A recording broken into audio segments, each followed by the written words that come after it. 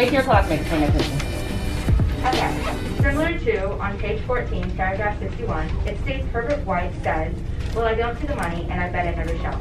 Furthermore, this explains that Herbert White is still very sarcastic towards the monkey's paw. Table three. Similar. I mean, Take a deep breath. Take a deep I breath. mean, how to say that word. Calm Yeah. down. Similar to. Similar to the previous statement, Herbert is still in the denial, and this is illustrated in paragraph 61 when Herbert said, Well, I don't see the money, which was followed by him saying, And I bet I never shall. To explain, Herbert makes it clear through the through this statement that he did not believe that the money will come. Okay. Table two. Um, we put similar to the previous statement on page 14, paragraph 61. Herbert says, "Well, I bet I don't, or, well, I don't see the money, and I bet I never shall." This explains his doubtful approach towards the monkey's paw. Table one. Similar to our last piece of evidence in paragraph 52, Herbert states that um, he doesn't believe they'll get the money. This explains that Herbert is doubting the money, the monkey's paw, and that he doesn't think the wish will be granted. Oh, sun's a little tough.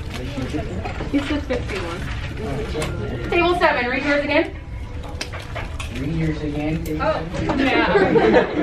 oh, did I say this one? Okay, similar to paragraph 52, page 14, paragraph 51 states, Well, I don't see the money, said his son as he picked it up and placed it on the table, and I bet I never shall.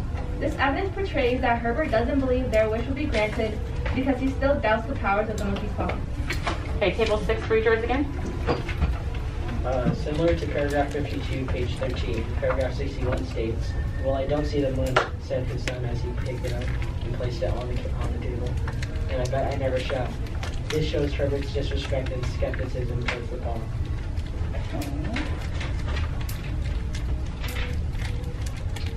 Table five. Read yours again. Similar to paragraph 52, paragraph 61 states, Well, I don't see the money, said his son as he picked it up and placed it on the table, and I bet I never shall, describing that he does not believe in the monkey's paw. Table four. Similar to on page 14, paragraph 61, it states Herbert White says, Well, I don't see the money, and I bet I never shall. Furthermore, this explains that Herbert White is still very sarcastic towards the monkey's paw. Table two. Um, we put similar to the previous statement on page 14, paragraph 61. Herbert says, Well, I don't see the money and I bet I never shall. This explains his doubtful approach towards the monkey's paw.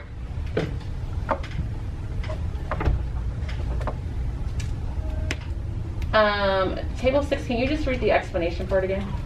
I don't need to hear the quote or the beginning, just the explanation part. This shows Herbert's disrespect and skepticism towards the paw. Table seven. Read your explanation again. This evidence portrays that Herbert doesn't believe their wish will be granted because he still doubts the powers of the monkey's paw. Table four. Read your explanation. Furthermore, this explains that Herbert White is still very sarcastic towards the monkey's paw.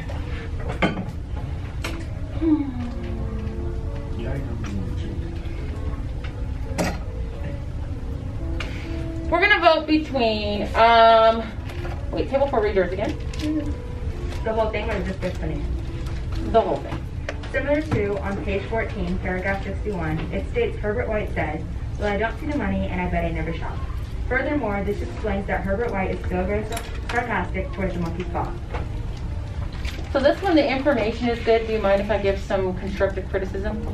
There's like extra words that don't need to be there. Like at one point you say says and states.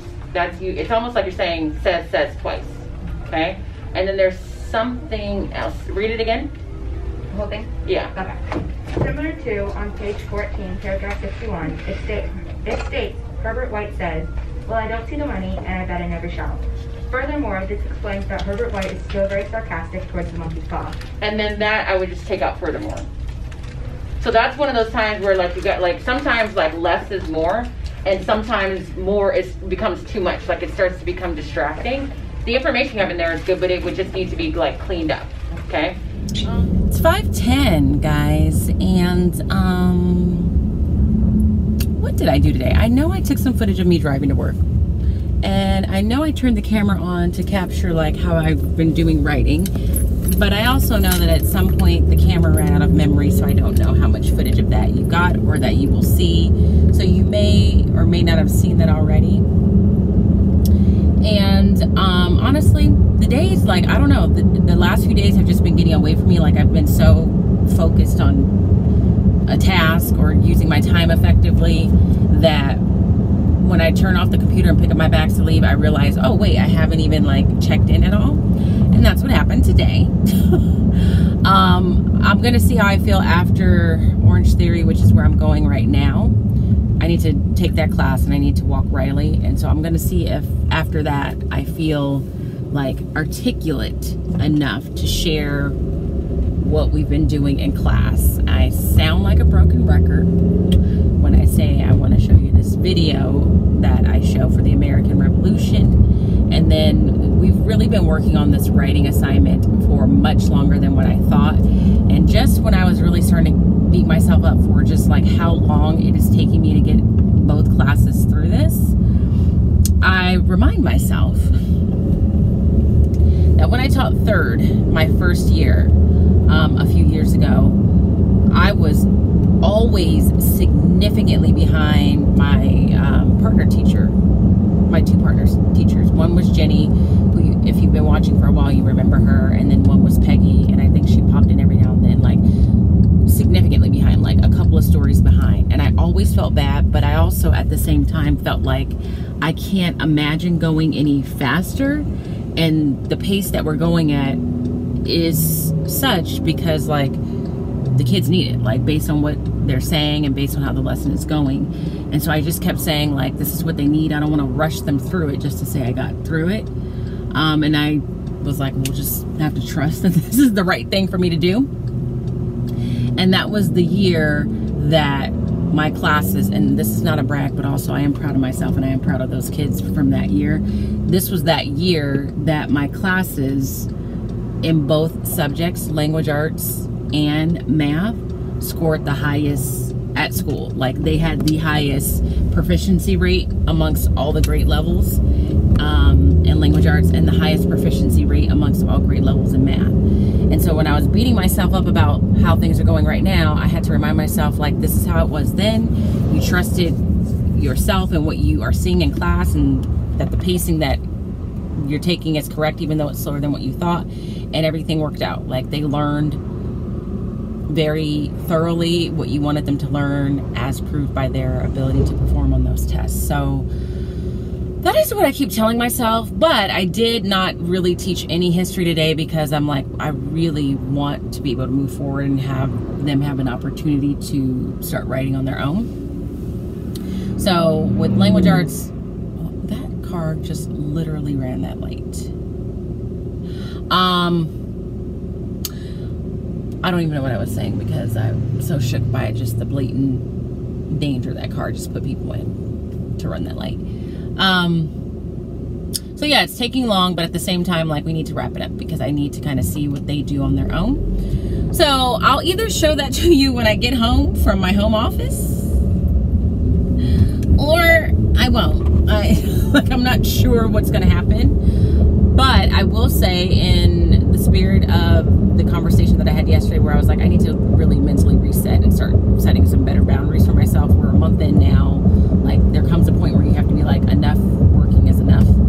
Um, so last night I went to bed at 10 o'clock knowing that I wasn't going to wake up um, at 4.30 to get ready to take a Peloton class and be on that bike by 5 because I was going to go to Orange Theory today in the evening. So I was like, okay, I'm going to go to bed at 10. I'm going to wake up at 5 so that I can get to school like really early because I felt like if you're not waking up to exercise, you shouldn't be lazy and just sleep in. You should like wake up and use that time productively for something else. Um, so that was my intention when I went to bed. And then of course the alarm clock was off this morning and I just like couldn't even get myself to get out of that bed. So instead of getting up at 5, I got up uh, 5.30 And I was like, you know what? Let's just see how this goes. Like, If we're really talking about setting boundaries, why do you feel the need to say you can't just sleep in, you can't get any extra sleep on the mornings where you're not working out before work, and that you have to get up earlier to get to work earlier? Like, been coming from? Why is it? Do you really need it? And I was like, I don't really have anything pressing that I'm drowning in or that I need to do. So let me just get up at 5:30, see how that goes, and see if I get to work at a time where I'm satisfied with. And guess what, guys? I got up at 5:30, got dressed, and sure enough, I still got to work early. At the time I would have, at the time I thought I would have gotten to work had I woken up at five. And I got an extra 30 minutes of sleep. I got seven and a half hours of sleep instead of seven. So I just feel like that was yet another lesson of like, it's going to be okay, Latawnya. Like if, if you're teaching or you're thinking about teaching, um, we all need to know and remind ourselves that there literally is never an end point to teaching. And I, I'm sure I've said this before. Like it's not like the job that I had before where I went to work and the end point was when my shift was up. And then I didn't think about it again. There's always always, always, always, always, always going to be something to do in relationship to teaching. Even when you're on break, even when it's Thanksgiving break, winter break, there's always, always, always something to do. So to try and work to get to a point where you're all done is ridiculous because that's never going to come unless you're retiring. So um, I have to remind myself of that and, and stick to that so that I am getting, you know, a good amount of sleep and I am not feeling like I'm only working and that I can go home and just eat dinner, sit on the couch and think about nothing of importance and just decompress. So that was a nice little lesson for me to see this morning and I need to keep that up. I know that there's going to be times of the year where that's not going to be possible because it's just a busy time of the year, but that should be it, it should be the exception and not like the norm. And I felt like that was becoming anywho, um, this class starts at 5.30, it's 5.17. Liza should be there this time. And as far as my working out with the sciatic, it's it if anybody's had sciatic pain and you've recovered and you're working out after the fact, like it's almost like my left leg feels like a phantom leg or an imposter leg, like it's not a member of the rest of my body. So when I run, it feels awkward. And at this point, I don't know if that's like a, a physical reality, like it really is that way because I'm healing, or if that's a psychological thing, which is causing me to feel awkward when I run but it's a little discouraging because my running speed is slower because I'm trying to be careful. And um, obviously, I'm more careful and more conscientious in the weight room. So um, I just have to try and be patient. But I do like being able to do Orange Theory and the Peloton and having that mix. So we're trying the schedule out where I go to Orange Theory on Tuesdays and Thursdays, which means I don't work out before work early in the morning on those days. And then do the Peloton Wednesday, Friday, Saturday, and maybe Sunday. Sometimes on Sundays I just stretch. So that was a lot of talking. I'm almost there. So I'm either going to see you later and talk about what we did in class, or I'm going to see you later and once again apologize for not showing you the things I keep telling I'm going to show you and promise you that I'm going to do it tomorrow and hopefully I actually get it done tomorrow. Time will tell. We'll see what happens. So I'll talk to you guys soon.